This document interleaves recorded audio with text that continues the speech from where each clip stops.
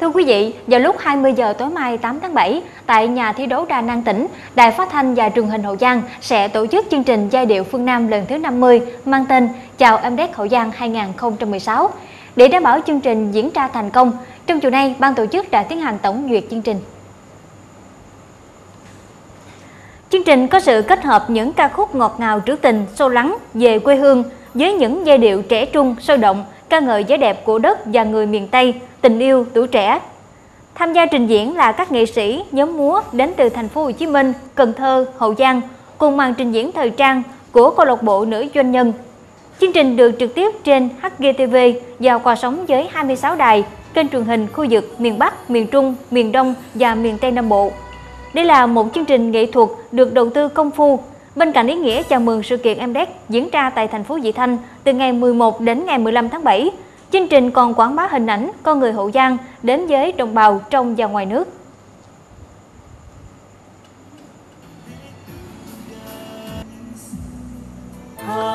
Chương trình nghệ thuật giai điệu phương Nam sẽ đến với Hậu Giang vào ngày 8 tháng 7 năm 2016, 20 giờ tại nhà thi đấu Đa Năng, tỉnh Hậu Giang. Truyền hình trực tiếp trên đài phát thanh và truyền hình tỉnh Hậu Giang và quà sống trên 25 đài phát thanh truyền hình. Đồng Nai, Bà Rịa Vũng Tàu, An Giang, Bạc Liêu, Bình Dương, Bình Phước, Bình Thuận, Ninh Thuận, Tây Ninh, Tiền Giang, Cần Thơ, Sóc Trăng, Bến Tre, Kiên Giang,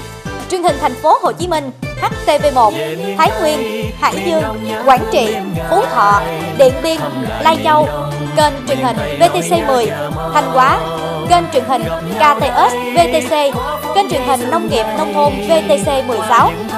Giai điệu phương Nam lần thứ 50 là dấu ấn chào mừng sự kiện Diễn đàn Hợp tác Kinh tế Đồng bằng sông Cửu Long 2016 diễn ra tại tỉnh Hậu Giang, tôn vinh vẻ đẹp của đất và người miền Tây, giới thiệu tiềm năng thế mạnh của vùng và thu hút đầu tư. Giai điệu phương Nam lần thứ 50 có sự tham gia của các ca sĩ, nghệ sĩ được yêu thích Quốc Đại, Hà Dân, Lưu Ánh Loan, Lê Sang, Hoàng Nghiệp, Thanh Kim Huệ, Trọng Hữu, Trung Tử Long, Hồng Hạnh, nhóm The Dream, nhóm HK, đặc biệt là phần trình diễn thời trang áo dài của câu lạc bộ nữ doanh nhân. Giai điệu phương Nam lần thứ 50 chào em đẹp Hậu Giang 2016